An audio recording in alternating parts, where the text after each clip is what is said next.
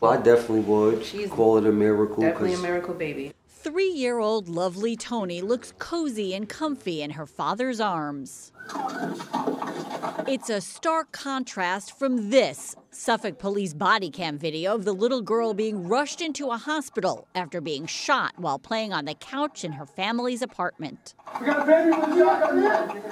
That was back in August. The bullet that police say was fired by a suspect in the apartment next door pierced the connecting wall and struck the little girl in her hand and abdomen. I was just speechless. I couldn't move. I didn't. I couldn't scream. I couldn't cry. I just wanted her to be sent to the hospital. Lovely spent the next few weeks recovering in the hospital. It was rough, so to say, you know, seeing it like that, tubes and everything. First two weeks was rough. Mm. Well, just as fast as it started, just as fast as it was coming to an end. I'm not gonna lie, you know. Even the doctors say she healed pretty mm. fast.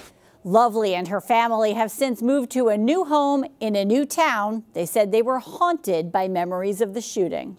We couldn't stay there any longer. It was just too dramatic. Like flashbacks. My anxiety was going up sky high. Princess Lovely. As for Lovely, her parents say she's now fully recovered and doing well here at home and in daycare. She likes to play with her toys and stuff. She likes to draw. She likes watching her favorite show, which is Peppa Pig. We know every episode of Peppa Pig. Her parents are hoping the scars will go away as she grows up physically and mentally. And they say they are forever grateful she's still with them. It's precious. Um, I cherish it. Um, every moment, every minute with her.